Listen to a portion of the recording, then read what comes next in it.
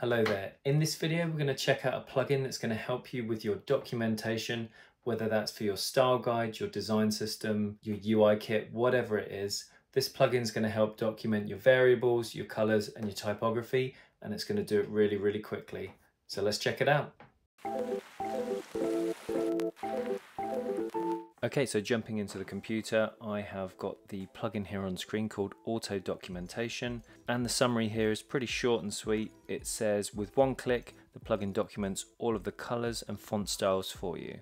So makes everything really nice and easy, creates some swatches for you, and creates some typography scales as well. So under the color documentation section, it says it documents all of the color styles defined in your file puts them into an adjustable component. You can create your own template or use the auto-generated one and it outputs the following fields which are color name, color hex value and color RGB value. On the font documentation side of things, documents all your fonts defined in the file, puts them into an adjustable component. Again, you can create your own template or use the auto-generated one and it outputs the following fields. So we've got preview text, font name, font family, font weight, font size, font line spacing and font letter spacing. And at the bottom here, it documents all of your local variables. So let's jump into Figma and see how it works. Okay, so now we're in Figma. Um, I've got a blank page and I've got some local text styles here. I've got a small and a medium. Um, I don't have any color styles. So if we go into the plugins panel here, go to plugins and widgets and click on auto documentation. This is the plugin. The first tab that we have is colors. If I click on document all colors here, it actually says it can't find any color styles in this file. That's because I've got nothing in my local styles. So let me just close the plugin. I'm going to create some local styles. So let's go into color. Let's create let's create some alert styles. So let's just do red. Just make these up really quickly. And then let's add another one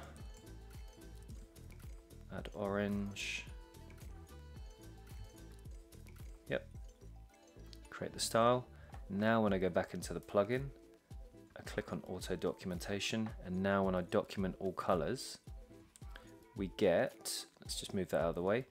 So as you can see, it's generated a component here at the top and below it's taken my alert colors and popped them into these swatches and we've got the name, the hex and the RGB value as well.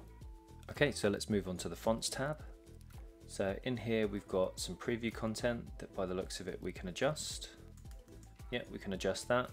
Um, we can do just the text, the font name, or the font name and the text. So let's do both. Uh, I've adjusted the preview text here and I'm just going to move the colors away just so nothing clashes. So now let's click on document or fonts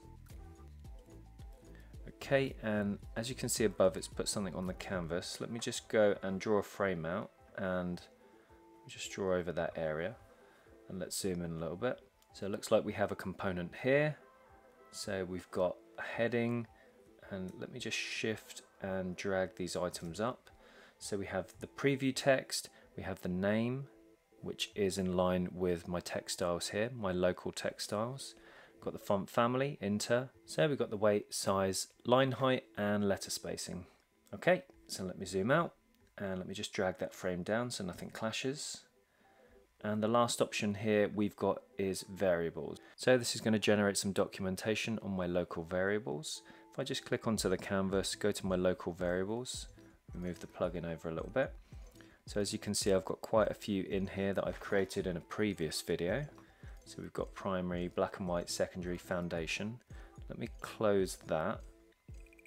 And let's just click on document or variables.